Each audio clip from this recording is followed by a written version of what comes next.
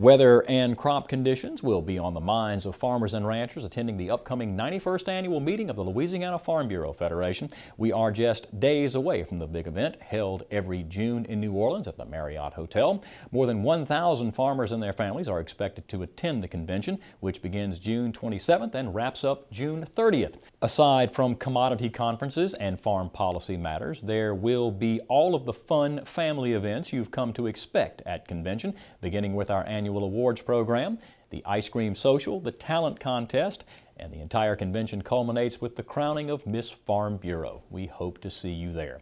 For more information, you can visit our website at twilatv.org. And of course, we will have our show from New Orleans and show you that even in the most urban of cities here in Louisiana, ag is still important. We'll have that convention show for you starting July 13th. A lot more to come on This Week in Louisiana Agriculture. Holly Clegg will show us a recipe that can help ease the pain of arthritis. But first, her jokes are cheesy, and this week, so is her Ag Minute. Kristen Oakes on the history of cheese. Stay with us.